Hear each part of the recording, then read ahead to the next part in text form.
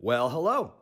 In this video, we're going to show you how to transfer files to and from one of your unattended computers, as well as manage these files in such an easy and straightforward way. All right, so this is my unattended computer that I'm about to connect to. Once we've typed in the password, the File Manager option can be found by clicking on the folder icon second to the left of the toolbar. Now, once we've opened it, we can see My Files on the left-hand corner and the unattended computers on the right-hand corner. Now we can either transfer the files by dragging and dropping them, or selecting the files and clicking the transfer button right here. In the file transfer section, we can find the list of all the transferring files and their status. Now, in case we're dealing with large files and need to manually configure the bandwidth in order to set a speed limit, we can do that from the drop-down menu.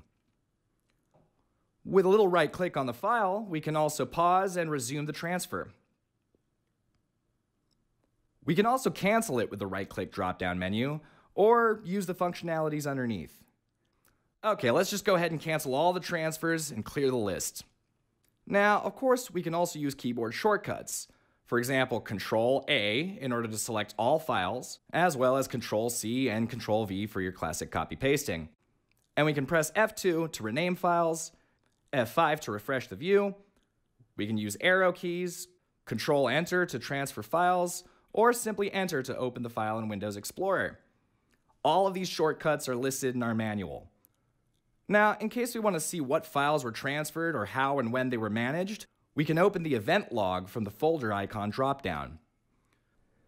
Here we can see which files or folders were viewed, received, renamed, and so on. All right, so that was the basics of our file manager. Contact us if you have any questions, and thank you for watching.